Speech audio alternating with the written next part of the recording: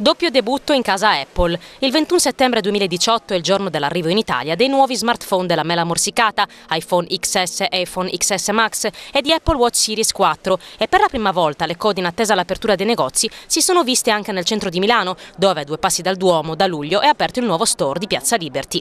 A prima vista manca la lunghissima fila a cui si era abituati fuori dagli Apple Store per l'arrivo nei negozi dei nuovi device Apple. Per questioni di sicurezza e ordine pubblico si è deciso questa volta di scaglionare e dividere i clienti in attesa per fasce orarie orarie, separando anche chi aveva preordinato i telefoni dagli altri.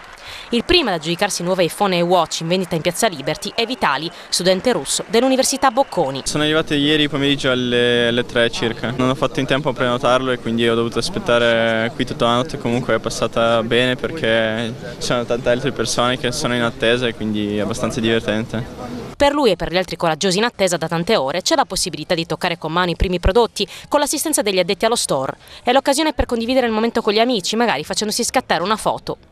I nuovi iPhone XS 5,8 pollici e XS Max 6,5 pollici hanno display Super Retina, un sistema a doppia fotocamera migliorato e più veloce, il primo chipset nanometri in uno smartphone, a 12 Bionic con Neutral Engine di ultima generazione, funzione Face ID più veloce, color oro e per la prima volta la Dual SIM su iPhone.